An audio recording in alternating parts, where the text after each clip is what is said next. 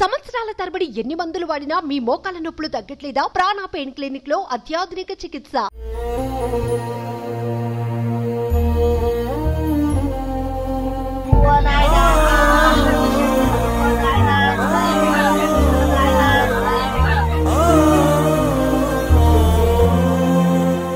ఓర్పుకు మారుపేరు మార్పుకి మార్గదర్శి నాన్న. పిల్లల్ని నవమాసాలు మోసేది అమ్మే అయినా పుట్టిన తర్వాత తన గుండెలపై మోసేవాడు నాన్న. తల్లి జన్మనిస్తే నూరేళ్ళ బతుకుకు మార్గం వేసేవాడే నాన్న. తమ పిల్లలకు చిన్న కష్టం వచ్చినా భరించలేని బాటసారి నాన్న. అందుకే తండ్రిని ప్రాణం కన్నా మిన్నగా ప్రేమించిన కొడుకు తండ్రి మరణ వార్తను భరించలేకపోయాడు.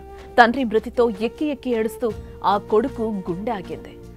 ఈ హృదయ విదారకర ఘటన జయశంకర్ భూపాలపల్లి జిల్లాలో చోటు చేసుకుంది.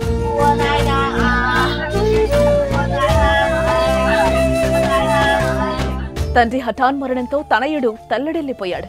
ఆయన మృతితో గుండె బరువెక్కి రోధించిన కుమారుడు సైతం గుండెపోటుతో మృతి చెందడంతో కుటుంబంలో పెను విషాదం చోటు చేసుకుంది. జయశంకర్ భూపాలపల్లి జిల్లా మహదేవ్పూర్ మండలం పెద్దంపేట గ్రామానికి చెందిన బీసుల పెద్దలస్మయ్య నిన్న గుండెపోటుతో మృతి చెందాడు.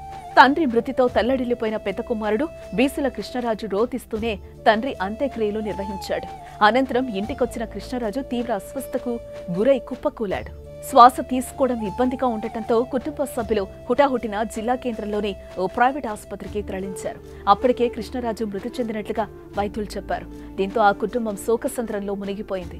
భర్త చనిపోయిన కొన్ని గంటలకే కొడుకు కూడా చనిపోయాడా దేవుడా అని తల్లి మరోపక్క భర్త లేడనే చేదు నిజాన్ని జీర్ణించుకోలేక భార్య లేనాన్నా అంటూ మరోపక్క పిల్లలు పడే ఆవేదన స్థానికులకు కంటనీరు తెప్పించింది.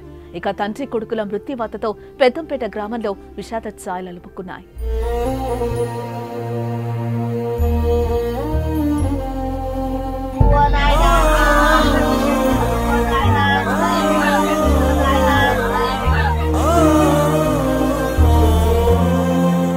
మీ బిజినెస్ ఏదైనా మీ ఊర్లో ప్రమోషన్ చేయాలంటే అది సుమన్ టీవీతోనే సాధ్యం. ఇప్పుడే సంప్రదించండి.